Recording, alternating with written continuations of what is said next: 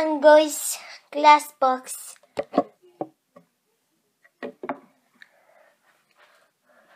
Just kidding. Okay, guys. So um, this video was requested by West Lizard. Um, and he asked me to do a video where I uh, hang on, where I am just gonna show what I film with. So I don't have my tripod up right now. So this is my tripod right here. It's adjustable up here like this. It also can move out to the side like that. It was just a really cheap one, you know. It's got these. You can extend them like that. That's basically all I use for like putting the iPod up and stuff. And then I also use this camera. Which is awesome because the back has a gigantic screen, like it's really big. Really nice. And um, I like it a lot and it's really cool. And I also use my GoPro. Now my GoPro I use a lot too. Um, it's a GoPro Hero Session. It's just a little cube block. So it's in its case right now, but if I take it out, this is all it was. I got this for my birthday and everything. So I can attach it to a lot of my stuff. I do have a GoPro strap right over there. And uh, I also can attach it to my RC car.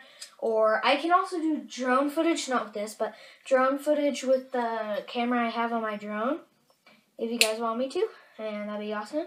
And also, um, never mind, never mind. Okay, I'm going to show you right here.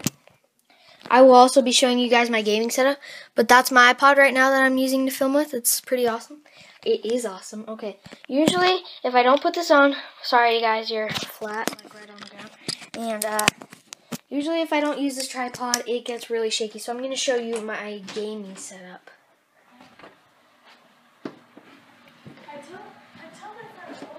Right here. Okay. This is my gaming setup.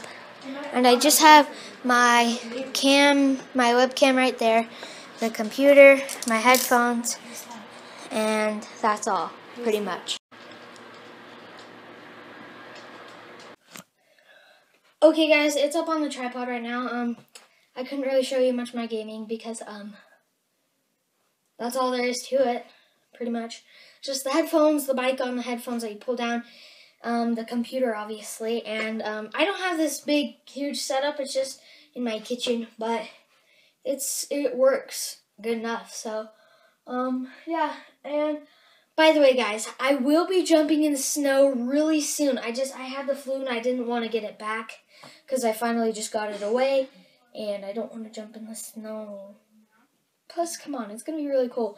And we're also doing this really cool challenge where I'm gonna get our gingerbread gingerbread houses and I'm going to smash them in the most awesome way possible. So we have a big gingerbread house and four mini ones.